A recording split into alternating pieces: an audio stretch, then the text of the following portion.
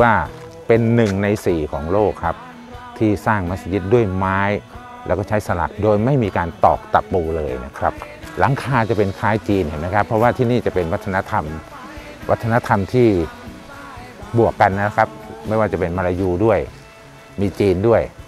มีไทยบางทีมีอินเดียด้วยนะครับ และตรงนู้นจะเป็นหออาซานร้ายซ้ายสุดนะครับ ดู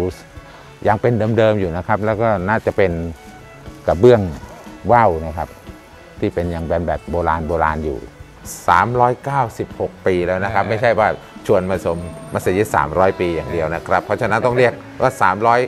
396 ปีแล้วนะครับ แล้วก็อย่างที่บอกแล้วครับว่าจริง ๆ แล้วเราอยู่ร่วมกันเนี่ยเราอยู่ร่วมกันในทุกศาสนาในสังคมไทยใช่ตอนนี้ใช่ทุกวันนี้นะครับอืมเรียนรู้ซึ่งกันและกันครับ อันนี้เป็นลายสวัสดิกะ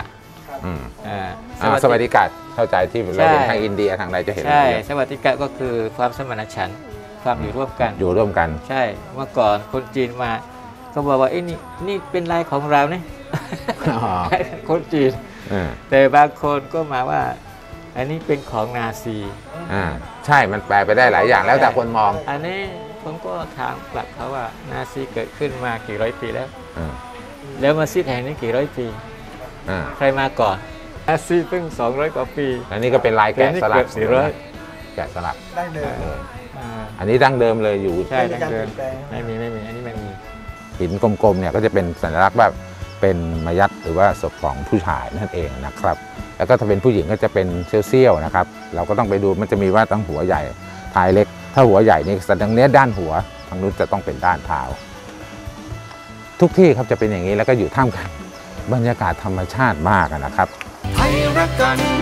ไทยรักกัน